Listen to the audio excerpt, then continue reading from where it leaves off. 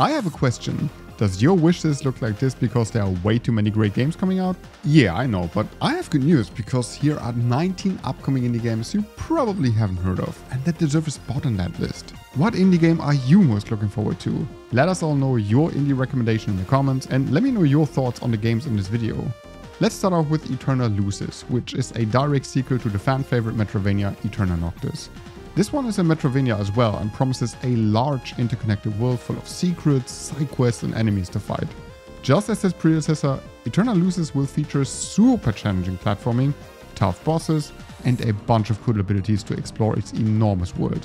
If you played and loved Aeterna Noctis, you probably really enjoyed this as it seems like it's more of the same, which is a good thing. Echoes of Mystralia is not your typical roguelike because this comes with some cool twists. For one, this will play more like an RPG than any other roguelike because there is a world map, side quests and most importantly an overarching story. The best part though is combat as you can create your own magic spells by combining elements with attributes and all kinds of other stuff. So we can expect a lot of variety and looking at the footage we have so far, the combat looks absolutely sick. Definitely one of the most interesting roguelikes in a while. Toonsouls wears its inspiration on its sleeve and in case you haven't guessed it, it's Cuphead. Toonsouls has a very similar art style and even goes for the same kind of gameplay. Only super hard boss battles with a lot of precision based platforming. The only difference here is that all stages are procedurally and randomly generated. So let's be honest, that actually could be a bad idea. Almost as bad of an idea as not clicking that cute red subscribe button, okay, well. But if you crave for that challenging arcade gameplay that Cuphead had a few years ago, Toonsouls might satisfy that need to get punished in a cute 2D look. Alabaster Dawn is easily one of my most anticipated games right now. It's developed by Radical Fish Games, the devs who made Crosscode, and this alone is enough to make my height level skyrocket. This action RPG will feature fast-paced combat with a focus on switching elements and weapons. If this is any similar to Crosscode, and it seems like it is, we can expect combat against enemies that almost feel like a little puzzle. Speaking of puzzles, dungeons will feature a lot of puzzles inspired by Zelda, but not as much as Crosscode. And knowing that Radical Fish games are storytelling geniuses, the story of Alabaster Dawn will probably be full of twists and very emotional. Honestly, I can't wait to play this. If you want to know more about Alabaster Dawn, go check out my video, you can find a link in the description. There never was a Metroidvania I am more excited for than Constance. This hand-drawn beauty is inspired by two indie masterpieces, Celeste and Hollow Knight. What's special about Constance is its gameplay based around paint. Moves like special attacks and dodges consume paint and when you're out of paint, you get vulnerable. Shortly after, your paint refills. It's a system that encourages a strategic approach to the cool boss battles and challenging platforming sections alike. I already played two demos of this and can confidently say that exploration will be a lot of fun whenever this comes out next year. Check out my video from last year if you want to know more about the game, it's so good. Possessors is the new game by Heart Machine, the studio that brought us Hyper Light Drifter, and it's a fast-paced action side-scroller with combat mechanics inspired by platforming fighting games. That's what this Steam page says. The gameplay focuses on short but fast platforming sections, a lot of movement-based abilities, and a large world that opens up with every new ability you get. Sounds like a Metroidvania. Story-wise, it's all about uncovering the mysteries behind an interdimensional catastrophe, which seems to hit the same mood as the studio's other games. If you're into that, you should add Possessors to your wishlist.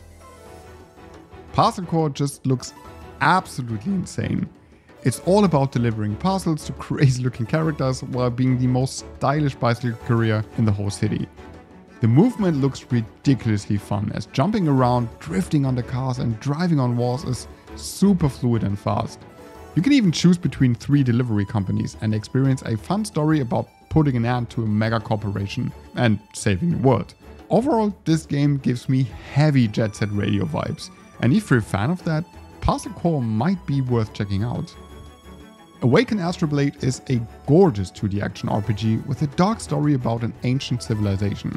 The main focus is an exciting combat system with a lot of combo attacks, parrying and hordes of enemies. Customizing combat abilities to find something that fits your playstyle is key, and looking at the unlockable skill trees alone, combat looks insanely promising. I don't know, this game seems to be in the same vein as After Image, so if you enjoyed that, Awaken Astral Blade might be worth a look. Croak is the most charming precision platformer I've seen in a while. The reason this looks so incredible is that the visuals are made by people who worked on Cuphead and Rick and Morty. The platforming itself seems to be inspired by Celeste, which can only mean a good thing. The world is split into several different biomes that all come with their own twist in gameplay, and the boss fights look so much fun.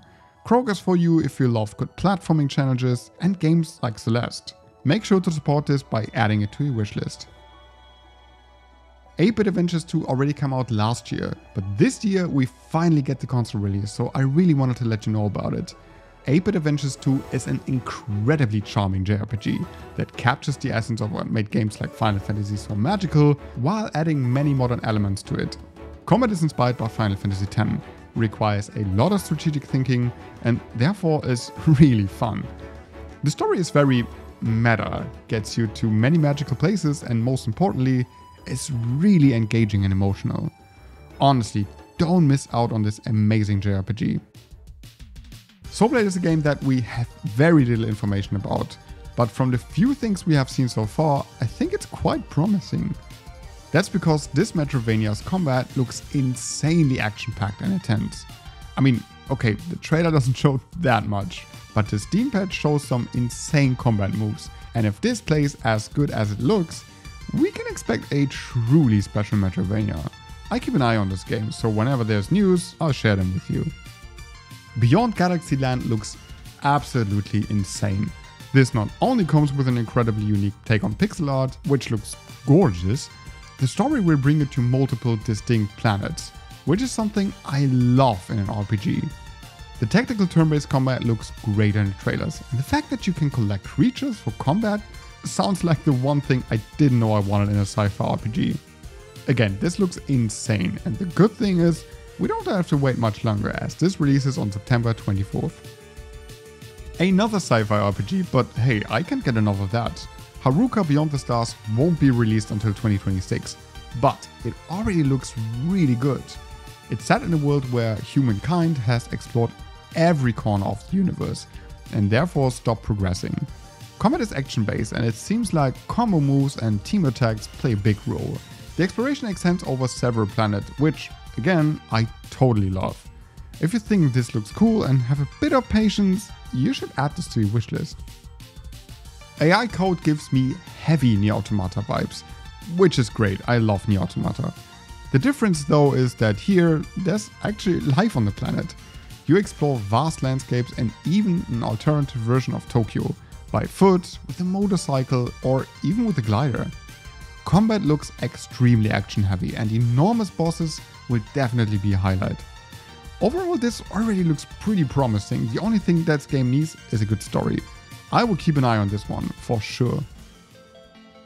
Sometimes all I need is a cute game and Heart Forth Alicia might be exactly that. This charming Metroidvania RPG mix features a character that excels both in magic and melee combat, and looking at the trailer already gives a good idea of what we can expect. This game really tries to find the perfect balance between Metroidvania and RPG, as there will be tons of secrets to find, challenging platforming, but also deep RPG mechanics like crafting, equipment, and more. For me, this sounds great, and I can't wait to get my hands on this. Anima Flux is a 2D jump and run with two playable characters. Both have very different abilities that you need to use at the right moment to solve puzzles, defeat enemies and overcome all kinds of challenges. That already sounds nice, but the best part is that you'll be able to play this in co-op. Yeah, I don't know much more about this, but the art style, graphics and the action got me hooked. Legend of Starkadia is another game that we don't have a ton of information about, but I think the trailer already shows what we can expect very well. This is a quirky turn-based sci-fi RPG, well we got a lot of these today, where combat resolves around timed button presses. I feel like this game tries to capture the essence of Saturday morning cartoons, and I think it so far nails it. Again, this one lets you explore 9 different planets, which is a big plus for me. The Kickstarter is set to go live in spring 2025, so we probably have to wait a while, but I'm happy to wait because this looks awesome so far. I got so excited when the sequel to Biped got announced, since this most certainly was one of the best co-op experiences ever. Biped 2 seems like it's more of the same, which is great. The gimmick is that you don't simply control a character, but each of their legs individually. So you use the left stick for the left leg and the right for the right respectively. Maneuvering around levels trying to solve physics-based puzzles that way creates incredibly funny situations while making overcoming a challenge immensely satisfying. If you're looking for a truly funny co-op game, play Biped 1 and add this one to your wishlist, you won't regret it. Legends of Elementia is another Metroidvania RPG mix. Here, and you probably already guessed it, elemental powers play a big role.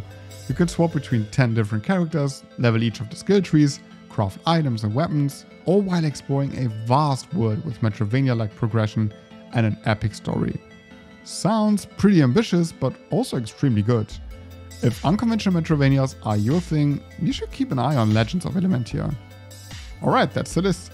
19 upcoming awesome indie games. What game on this list will you add to your wishlist? Let us all know in the comments and don't forget to hit subscribe if you love indie games, RPGs, Metroidvanias, and videos about these kinds of games. Alright, thanks for watching, have a great day, and I'll see you in the next video.